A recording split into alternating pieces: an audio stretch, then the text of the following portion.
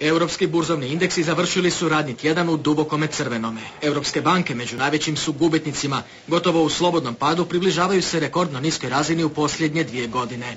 Neki analitičari predviđaju im sudbinu Lehman Brothersa. Trenutačno svjetsko gospodarstvo doista usporava, ali riječ je samo o usporavanju.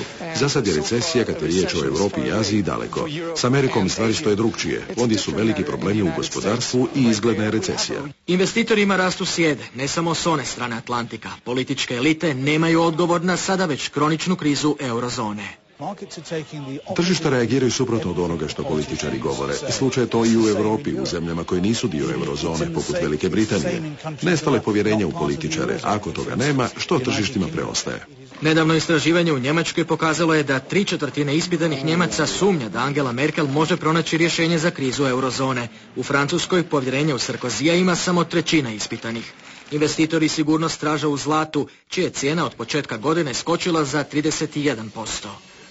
Budući da američki dolar slabi, to bi moglo potaknuti rast cijena zlata, s obzirom na to kako se njime globalno trguje. Otkupljivači zlata na Manhattanu trlje u ruke. Posla je preko glave. Unca zlata vrijedila je jučer rekordnih 1881 dolar, završila dan s 1852. Na ovome mjestu otkupe zlata, srebra, platine i dijamanata u vrijednosti 100.000 dolara dnevno. Količina zlata koju smo otkupili u protekla tri mjeseca veća je za 25 do 40%. Trebamo još novca za svakodnevni otkup jer cijena zlata raste.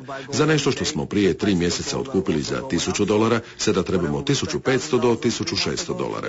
Prekičer je Morgan Stanley poručio kako su Amerika i Europa milimetar do nove recesije. Dionice na svjetskim burzama izgubile su od početka krize gotovo trećinu vrijednosti. Hoće li nakon četiri godine slijediti novi udarac?